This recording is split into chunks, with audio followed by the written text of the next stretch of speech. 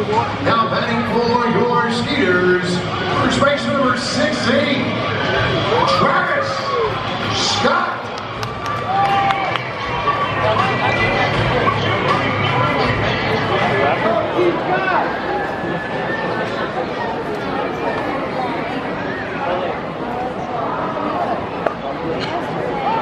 Thank